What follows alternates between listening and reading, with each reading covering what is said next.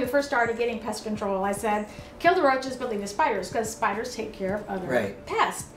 And how do you do that actually? Two types of spiders. Well, we'll call them a roving hunting spider, Mm-hmm. which maybe you've heard of wolf spider, the big guys that come in and crawling across the floor. Or you'll have stationary spiders that create webs. Mm-hmm. The traveling hunting spiders are hard to stop because they're actually coming in through a non-sealed house or you got your, your caulking or your uh, weather stripping is loose because they travel along the edges they get to a door and they feel this nice cool Oh. cave coming through the door and they just going in they're crawling around on their little legs there's no pesticide there's nothing really will stop them Okay.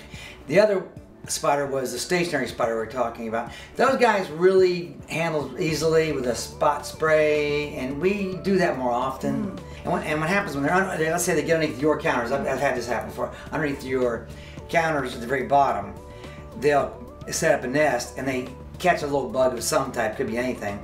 They eat it and then they poop all over your Oh, They maybe I excrete. don't want maybe I don't want spiders in my Well, that's what actually happens. They get these marks all Oh. over your tile floor where they're relieving themselves Oh. onto. I usually try to get rid of them. Now I can do. Yeah, you can kill those. Sometimes we will spot spray. Other houses, I just run my hand down the bottom. They drop, and I pff, a little napkin. Okay. Okay. No pesticides.